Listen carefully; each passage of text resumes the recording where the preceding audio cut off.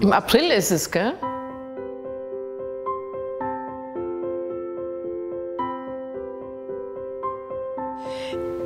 Warum tue ich mir das an?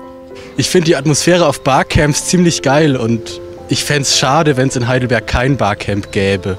Ich bin im Barcamp-Orga-Team, weil ich die Erfahrung gemacht habe, dass ähm, Projekte in Social Media so eine ganz eigene Dynamik entfalten. Und wenn man sich wünscht, dass was passiert, dann muss man es einfach auch selber mit anpacken. Weil ich tierisch Lust habe, hier in der Region Leute zusammenzubringen, um gemeinsam was zu reißen und auf die Beine zu stellen und dass nicht jeder vor sich hin wurschtelt, wie es oftmals so läuft.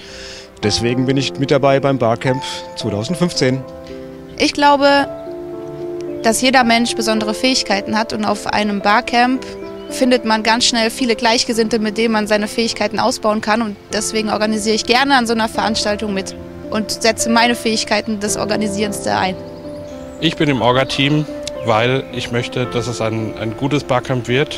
Und äh, das Team braucht jemanden, der, der es zusammenhält, der es strukturiert und ein ja, ich möchte einfach, dass es eine tolle Veranstaltung wird und deswegen bin ich dabei und bringe mich ein.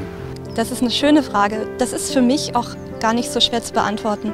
Ähm, ich mag Menschen sehr, sehr gerne und ich finde, die Diversität, die wir haben, alle mit unseren eigentlichen, mit unseren individuellen Fähigkeiten und Talenten, ähm, die ist eine ganz große Chance. Und manchmal braucht es nicht viel anderes, als einen Rahmen zu schaffen, einen Tisch zu schaffen, einen Vortragsraum, ein Barcamp, um ganz, ganz viele unterschiedliche Leute einfach zusammenzubringen und dann zu gucken, was passiert. Da können ganz tolle Dinge bei rauskommen.